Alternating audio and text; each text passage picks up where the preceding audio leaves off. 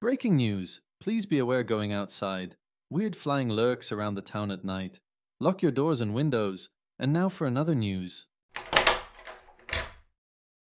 Once I turn this light, I will rush upstairs. and clean this blood. The last thing, I need to draw more attention to myself. Hope that no one sees me. Hmm? What? Why they are home so early? So funny. I agree. Eh? Catnap. Way to go, catnap. Oh? Here we go again. Before you ask, no, I didn't use. Catnap. This is the third time you camo back covered in ketchup. Like, why would you keep doing this to yourself? I told you no already. Why you keep getting my business like that, Dog Day? Dog day! Catnap! What the hell? Ah, sorry I catnap. I guess I gone too far again. Sorry about that, buddy. Sorry, Dog Day. I am just fired from my dad yelling at me to do chores. Catnap. Good night.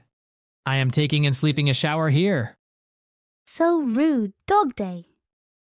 I'm onto that guy. Don't you think that so suspicious of him, his behavior changed all sudden when that monster are taking our town at night?